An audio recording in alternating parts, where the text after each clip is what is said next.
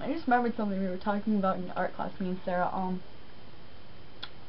shoot, stuff again. um, we have to like paint this box thing. Well, a 3D object. She's painting a box, and she's like, "Oh, the paint's gonna come off," and I'm like, "No, shoot, lost it." Something, something, yada yada, blah blah. I'm saying something, but like, um, paint's gonna come off when it goes through the washing machine and the dryer. I wasn't really thinking at the time. so she's like, how is it going to go through the washer? And I'm like, making up this whole elaborate plot and everything. So basically, it was like, well, you see, Sarah, after school, we decided to go to my house, okay? And but you had left your backpack at home and you really wanted to bring that box home to show your mom and everything, so decided to put it in my jacket pocket. But, you see, the thing is, Brittany had to borrow your jacket because, well, she was too lazy to go her.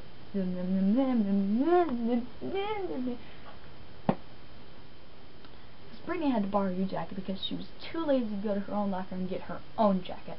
So you borrowed mine, and somehow I had a doctor's appointment, so you, she gets to my house, and she slips on ice, falls in doggy doo-doo, and my mom is like, what are you doing with my daughter's jacket on? And why is it covered in doggy doo-doo?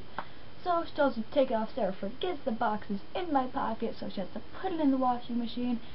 And that, that, my friends, is how a wooden box can end up in the washing machine, and that made no sense. No sense. But I don't care. I really don't care. Because I am not a sense making, making sensey person. Um, yeah, guess what? Guess what? I am rich. That's George Washington there. He had wooden teeth. See that? Wooden teeth. Wooden! Wooden. Wouldn't you believe it? Believe it! Yeah. Well, now, I'm done.